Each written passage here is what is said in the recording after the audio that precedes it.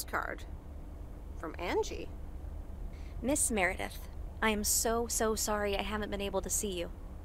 It's just that I've been swamped organizing my not so timely exit from Providence Oaks. I'm sure you understand. You've probably seen the foreclosure notice. That certainly helped expedite my decision to leave. Anyway, I'll be honest. I'm still thinking about that kiss we shared in the car.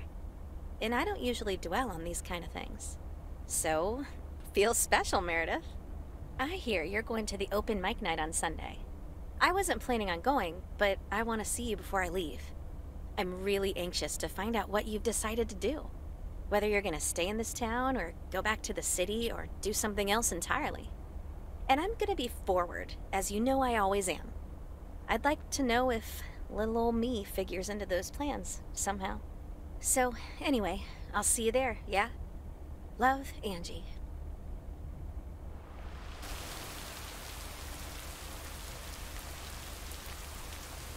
Happy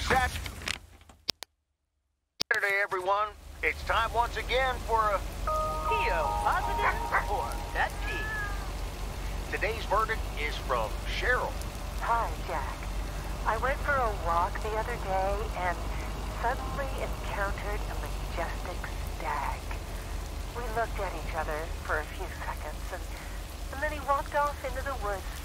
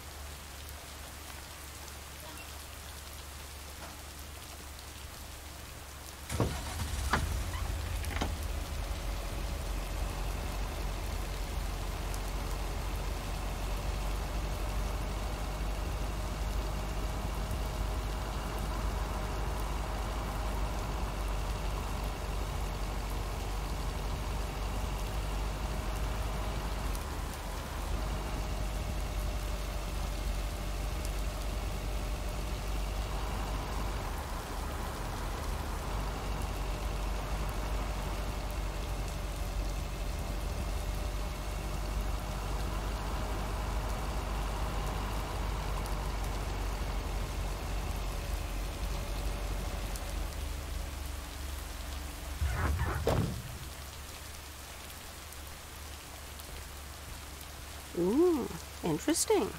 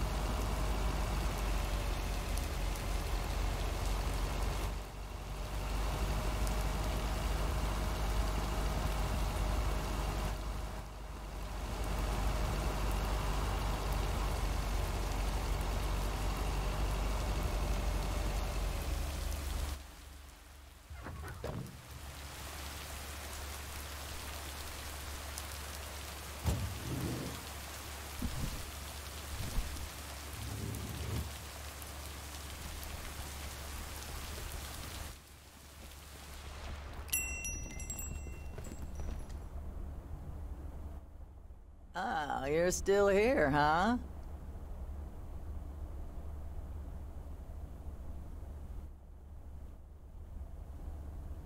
That makes two of us. When are your parents coming back? Actually, they might just stay in Florida. Florida? Your parents? Yeah, isn't it weird? They'll be back soon. Florida is expensive and honestly isn't all it's cracked up to be.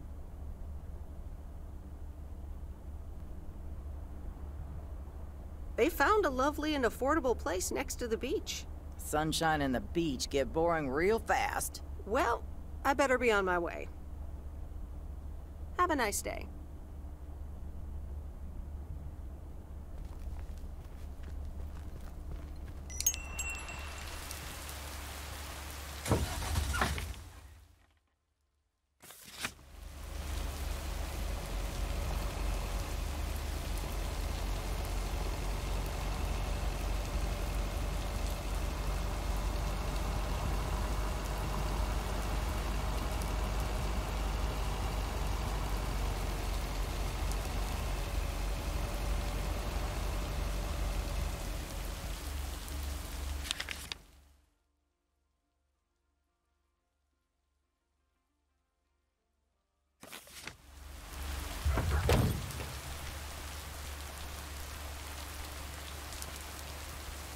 Here's your mail.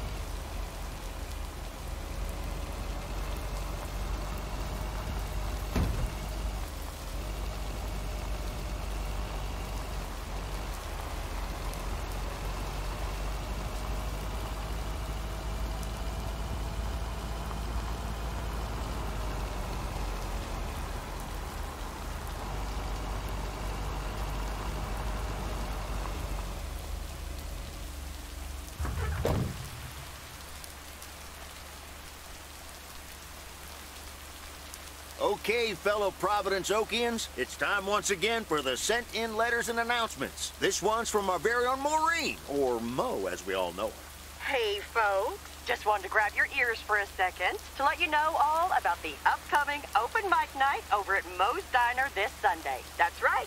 Claim your 15 minutes of fame, enjoy some swell performances, and the usual good food and drinks for everyone. I expect to see all of y'all for a great evening, and maybe even some dancing. You know who you are. Come join the show at Moe's at 8 p.m. this Sunday. I'll come get you if you don't. Well, you heard her, folks. And I'll be there too, so you better not miss it. Back to the music and to one of my favorite songs. Mail Carrier Meredith. Farmer DJ Jack. Seen any ghost drivers on the way here? Ghost drivers? Yeah, you know, people driving on the wrong side of the road. Nope, haven't seen them. Okay, I was just wondering. Don't bother. I need to get back to the live show. See you tomorrow, I reckon. Bye now. I reckon. Oh, and please close the door. Don't want to broadcast any mail truck noise. Thank you much.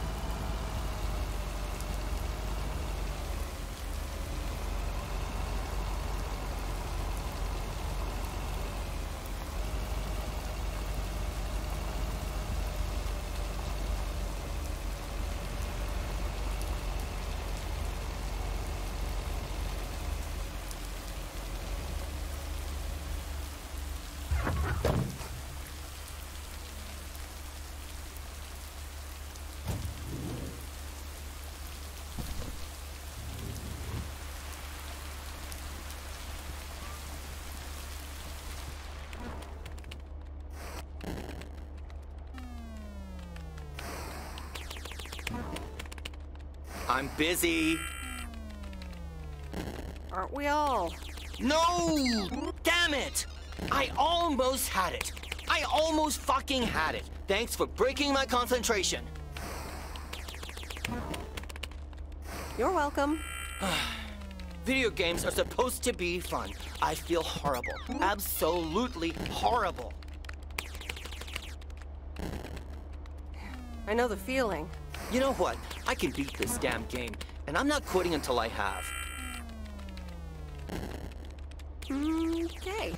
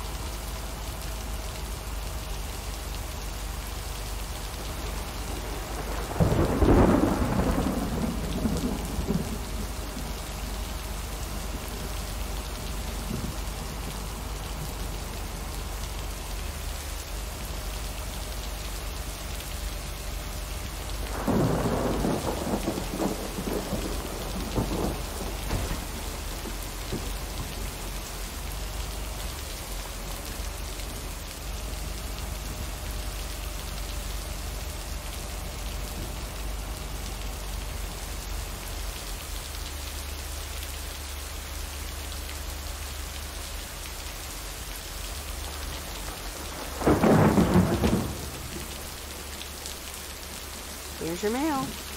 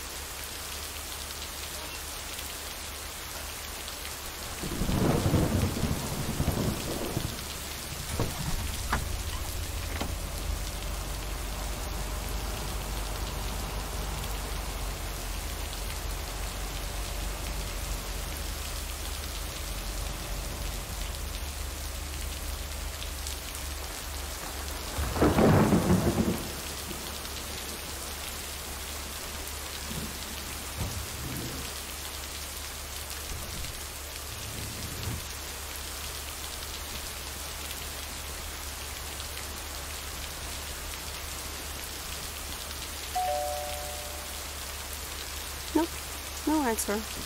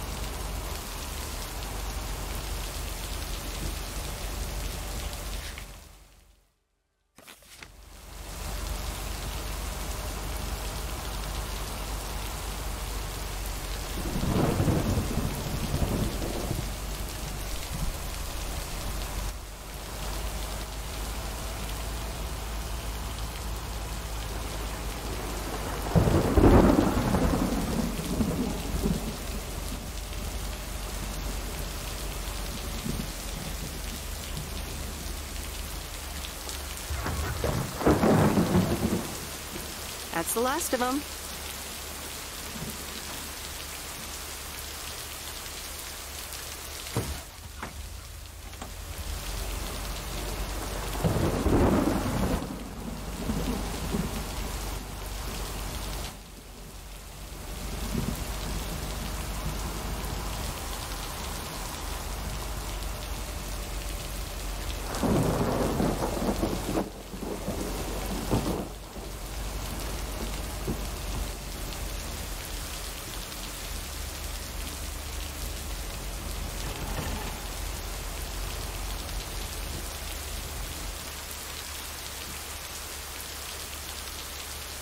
And so ends a week full of turmoil.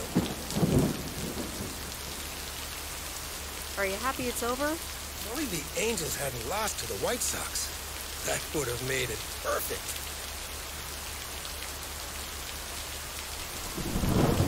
How much would you have won? $876.34. Would have been a nice payday, huh? We're playing each other again tonight. Should I change the bet? Sorry, Frank, but I really don't care about sports or gambling. Meredith, no problem. I'll stop talking about it. Or I'll try at least. Have a great weekend, Meredith. Oh, wait, this was your last day. I totally forgot to tell you, but they still haven't found someone else for the job. So I guess you can have it if you want. Thanks, Frank, but no. Are you sure? It's a great job. You know what? Think about it and let me know Monday morning when you return your stuff. I gotta run now. Red Sox are playing the Yankees.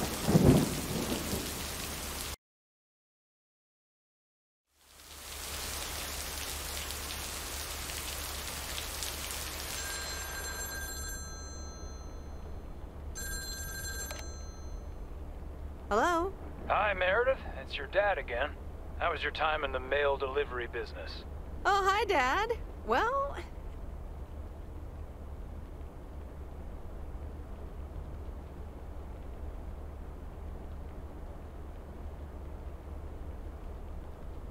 don't take this personally, but I'm glad it's almost over. No apologies necessary, Meredith. I'm glad you gave it a try. Yep. And at least now I can finally put faces to your mailman war stories. I was hoping I could listen to one of those for once. Oh, hold on, Meredith. Let me guess. Mom wants to talk to me? Hi, Meredith. Sorry to butt in, but I was wondering, are you planning on going back to the city? Hi, Mom.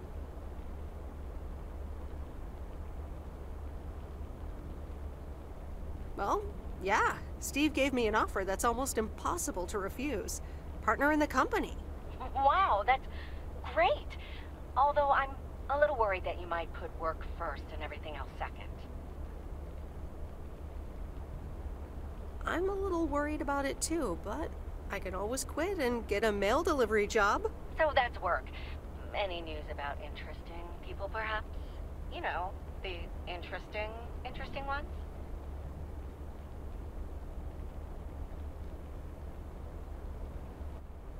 More than interesting, actually. I haven't felt like this for a long time. Oh, that's so nice to hear. But how will that work when you're back to your busy life? I wish I knew. Maybe I shouldn't pester you too much about it. Sometimes it's better to regret what you've done than what you haven't done. Nope, hold on. Is this the part where Dad takes over? Hey, Em. I just wanted to say, don't get on the plane right away when they announce that boarding has started. I mean, why hurry to get in that cramped airplane seat? Thanks, Dad. I'll, uh, I'll keep that in mind. It's just something that popped in my mind. Uh, have a good flight, Em. Let us know when you've landed. Oh, we're running out of coins again. Gotta go. Take care, Em. Okay, bye. The Countess and the Carpenter. Chapter 4. No one screws better than the carpenter's apprentice. Old Mr. Nabenshoe acted like he was an expert on the topic. What he's done back there is nothing short of astounding. I'd hire him for any job and I'd pay good money for it. I never expected that the fence he repaired would survive last night's storm.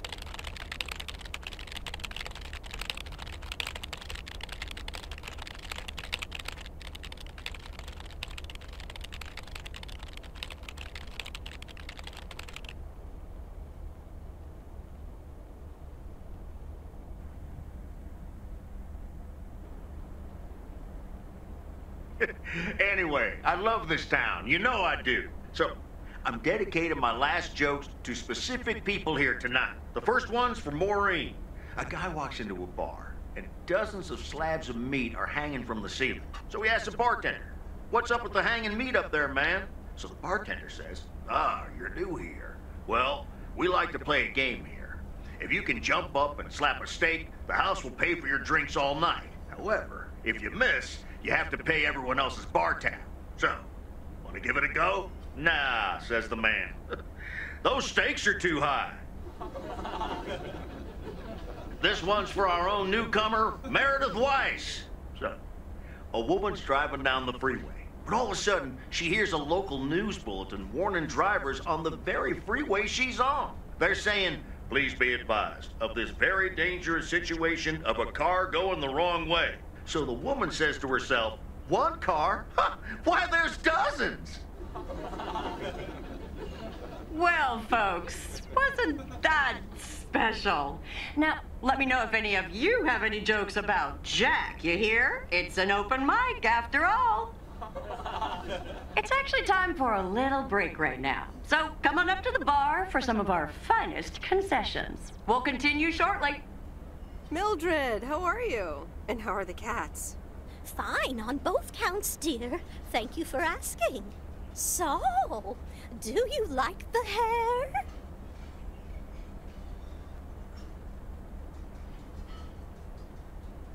Love it. That hairdresser did a great job.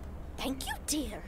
Pity it's quite the waste of time and money, seeing as how I can't stay for long.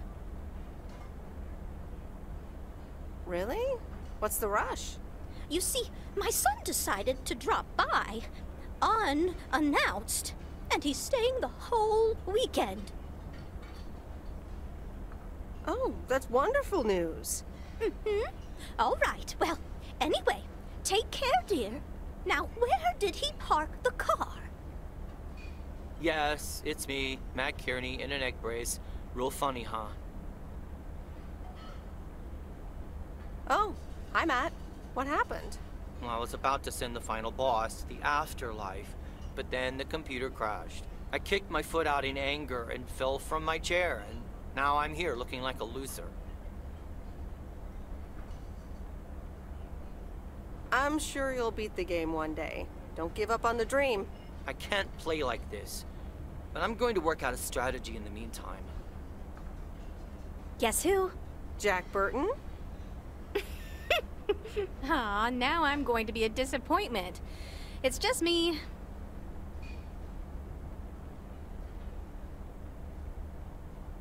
Even better. Though I never would have guessed.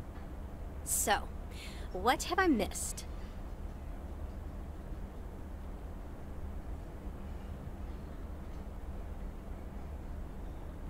Eh, not much. Jack just did some comedy. But the final act is supposed to be the real showstopper. At least, that's what Maureen tells me. Really? Well, then I guess I arrived just in time. So, how have you been?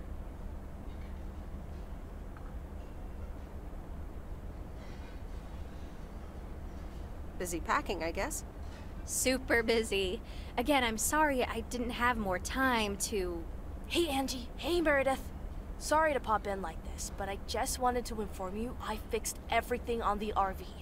She's got a new radio, I replaced some wiring, adjusted windshield wiper speed. The sea turtle is ready to go! That's great, Lori. Thanks. I'm sure it's like she's brand new. Well, I wouldn't say that, but you'll see. Gotta go later. An RV, huh? Oh, it's kind of a long story. You know Mickey and June? The hiker couple, right? Well, long story short, I've somehow gained possession of their vehicle of choice, which, as Miss Young just described, is a perfectly adequate RV that I'm gonna use to motor right out of this sad little town. So you're definitely leaving? Absolutely. Come with me. I mean it. Leave this sad old town behind and go wherever we want to go. Free spirits, the way Mickey and June intended.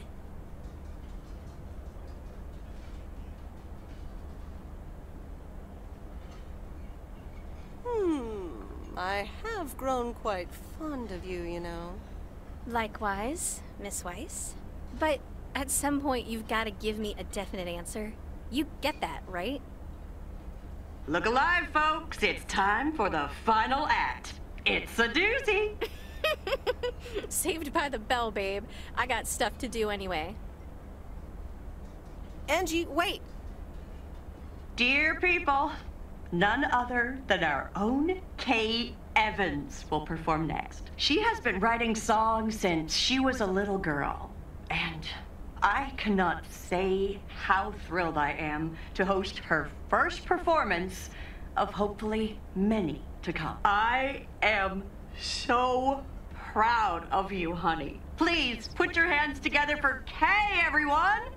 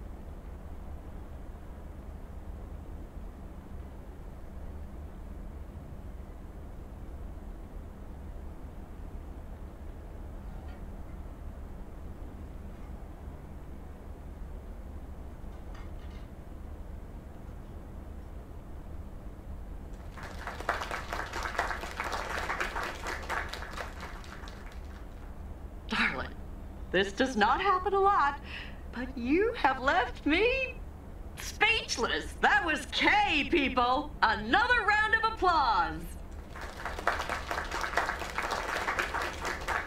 Well, it's a good thing I didn't leave when Reynolds started his nonsense. This kid can sing. Oh, hi, Mr. Mackey. Yeah, she's awesome. Yeah, it's good to see someone flourish, but I'd rather be home right now. Isn't it fun to step out every once in a while? Smoking a pipe and reading a proper book is the only acceptable way to spend a Sunday evening in September. Bert, thank you so much for coming. I know you'd rather be somewhere else right now. That's okay, kid. I don't regret it one bit. You did great. But ladies, if you'll excuse me, I'm out of here. Good night, Bert. Thanks again. And now for an announcement. I'm serious, so hush now. Now, you all know that Kay has been working here at the diner for quite a while now. In fact, she was my anchor after Stan left us. And I think the time has come to formally announce right here that I will put your name above the door of this place, honey, where it belongs. Kay's place. Mo Kay's. We haven't settled on a name yet, but there you go. Another round of applause. And have some drinks with us.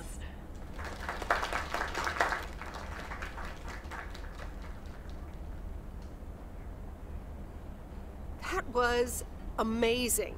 Oh my gosh, thank you so much, Em. It felt amazing. I was so super nervous, you know? Like shaking and all that. I'm so glad it went well. Kay's place, huh? Congratulations! That was quite a surprise. Yeah, I told you. Mo asked me like a gazillion times, right? Kinda felt right this time. We haven't hashed out any details, as you might have noticed.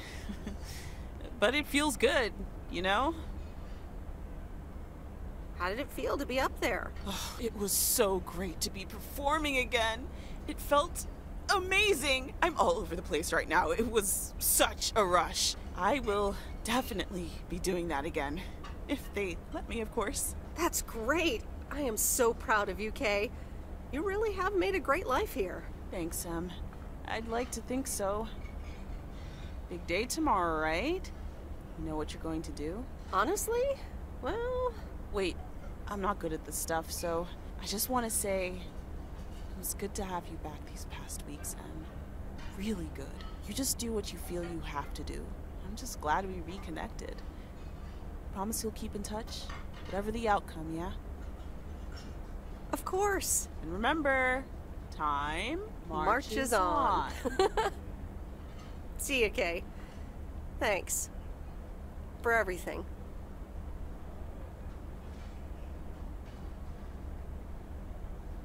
My lovely people, the time has come for the open mic part of the evening to end. Ashley was going to do a ventriloquist bit next, but I just heard he hurt his hand back in his cabin. Let me thank you again for joining us, and there's plenty of food and drink to go around.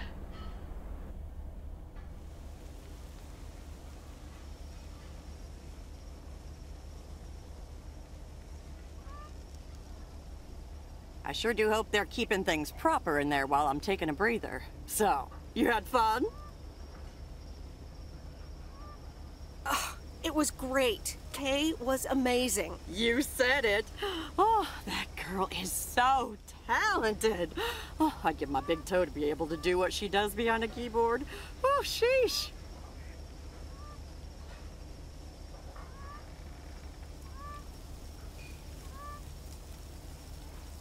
I'm still thinking about your news about handing over the diner. Kay's place, huh?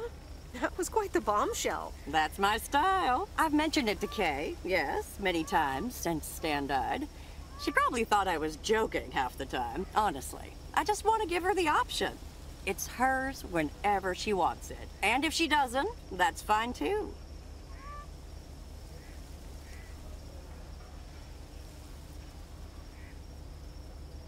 Yeah, but how do you make a choice like that if you don't even know what your own situation will end up looking like? Something on your mind, hon?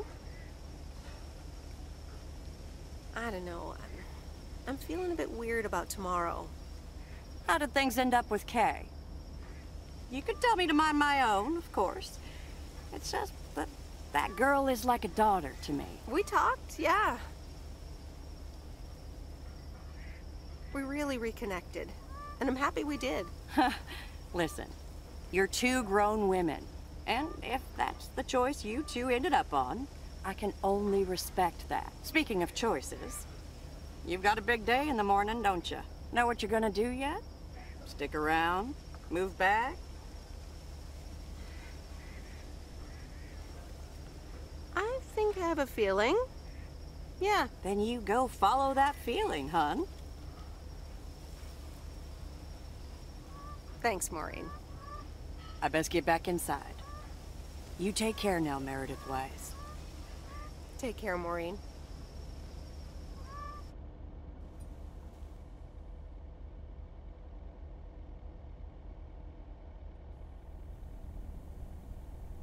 Good morning, Meredith. You won't believe the weekend I had. Saturday, I placed a bet on the Angels and won. But they played again yesterday, and I let it ride, and then they lost. They're playing again tonight, and now I don't know what to do anymore. Well, Frank, the pattern is obvious.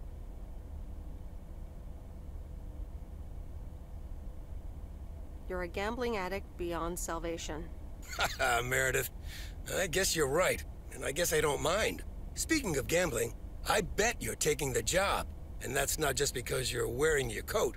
I love the coat, Frank. But no, I'm taking it off.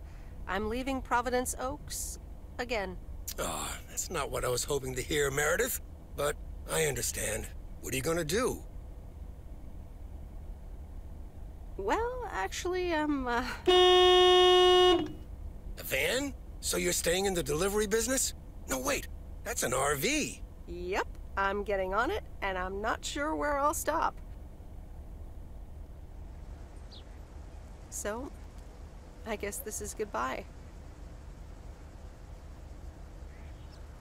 I'm gonna miss you, Frank. Thanks for everything. Try to stay out of trouble, okay? Don't worry, Meredith. I'll be fine. Thanks for everything. Take care and drive safe. And the V-Belt is not in great shape, but it should last you another month or three. The Sea Turtle in all of her glory. Do you like her? Meredith and I named her. She's pretty amazing, Lori. Cute name, too. Thanks for doing this for me. You're very welcome. I thought you really wanted to have the RV, Lori. I wanted to work on her really badly. But now that she doesn't need any more work, Angie can at least drive her around. Since I don't have a license, and I'm not old enough to get one anyway. I'll keep you up to date on all our adventures, promise. It'll be like you're right there with us. I'm counting on it. Have fun on the road, Miss W. Thank you, Lori. Will you be back? Probably. I made some friends here. I'll want to see them again. Okay. Well, if you ever find yourself here again, come and say hi. Sure thing. I'd like that. See you around, Lori. Magnificent, isn't she? Yeah, she certainly knows a lot about cars for a kid her age. I meant the RV. But sure, Lori's great too. So, you all packed? Sure am. The big stuff's in storage. But I've got the bare necessities clothes, toiletries, and a whole bunch of videotapes. So, where are we going first? yeah, about that. Hmm?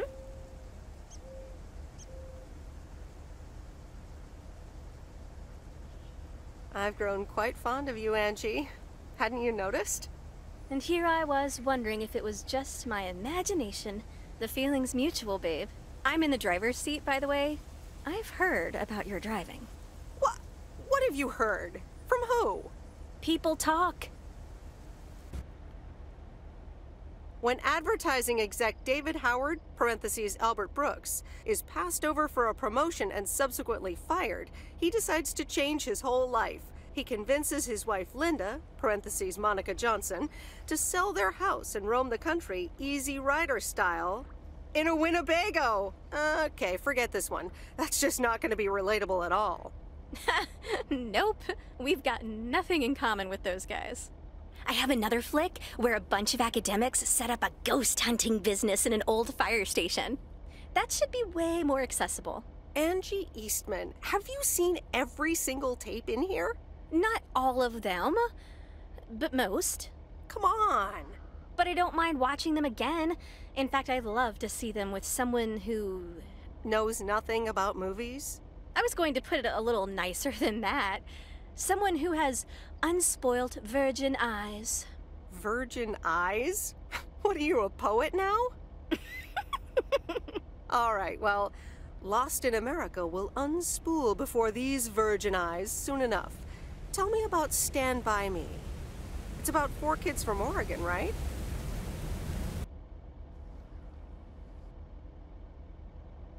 Sorry for butting in, folks, but I've got a special treat for y'all. I just updated my playlist. This new song is from our very own Kay Evans.